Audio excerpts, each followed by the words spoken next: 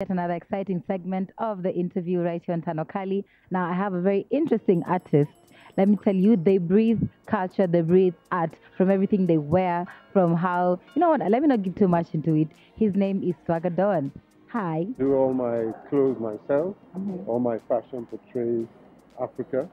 Uh, my fabrics, I design my fabrics, my outfits, my shoes, and of course my paint. Yeah, um, producer, Mhm. producing my music and co-producing with other uh, producers. Um, in videos, I direct my videos. I also are the creative director. I go to areas that is Kenya, Tanzania, South Africa, Nigeria, wherever. Uh, I am always there to promote Africa in its truest content. I'm originally from Trinidad, but I would say I'm an African, uh, Caribbean, and um, an African in all its uh, ramifications. I lived in the UK for some time, um, and then I moved to Nigeria. I live in Nigeria, and now I also live in Kenya. I'm looking forward to spending a lot of time here getting to know the country. I've been doing collaborations with uh, uh, Kenyan artists like Prezzo, uh, Rapper Rev, you know, and uh, also I'm collaborating with others in South Africa, Melody and others. So what I'm doing is creating a genre between soca, uh, reggae, plus, you know, uh, I'm amapiano, Afrobeat, Afropop. It's all part of putting the African culture on the road map. The religiosity, everything African. That's me. I'm the spirit of Africa. The, the important thing is you show African culture in its true form. Uh, many people have a watered down uh, promotion of Africa. Why? Because they bring in other people's culture. You know, for example, some of the things we don't do as Africans, we are kings and queens.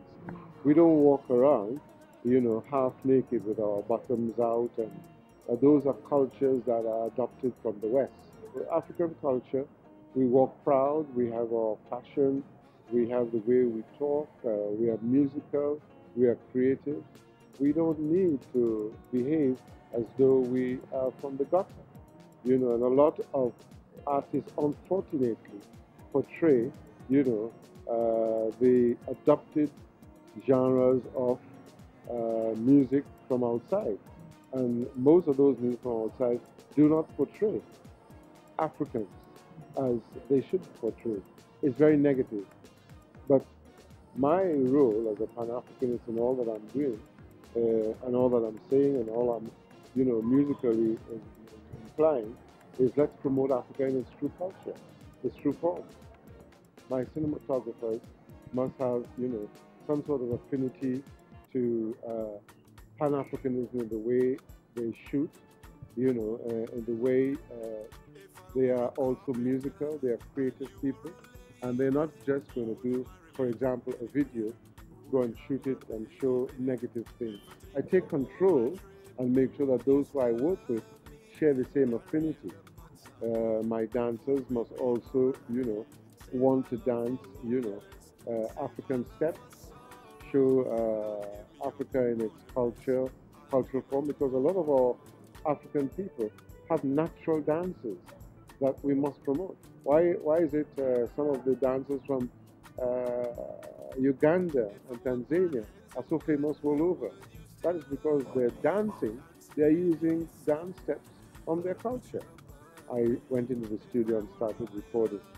And uh, I started recording, I already had in mind what I had to do in terms of making sure that I packaged myself in a Pan-African way.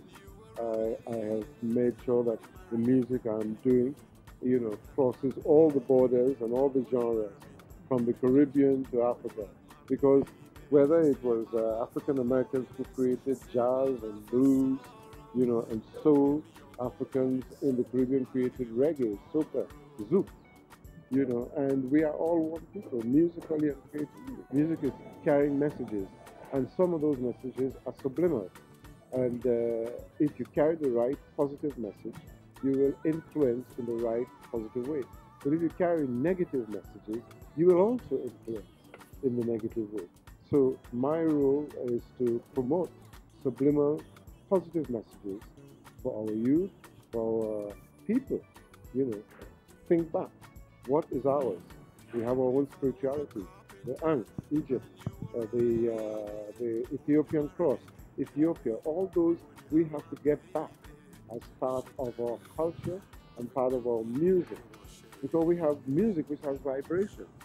You know, we have music which has vibration, and those vibrations are energy. They send out positivity, positive music. So we embrace those things and get those as part of our culture reinstated in whatever we do, musically, creatively, you know, however we walk, talk. We are musical, even the way we walk, even the way we, talk. You talking to me. It's beautiful tones. It's, uh, it- it's musical. They say Africans speak and walk and talk musically. We do, because we are part of the rhythm of the earth. You know, we are definitely rhythm people and creative. Uh, look out, fans, for uh, uh, Y254. Yeah, look out for uh, Mdo Swagger, Mimnyo Swagger, which is a, a, a Swahili version of uh, uh, one of my uh, tracks of Ale Ale exclusively. You have the lyrical video of Mdo Swagger, right? Uh, also exclusively.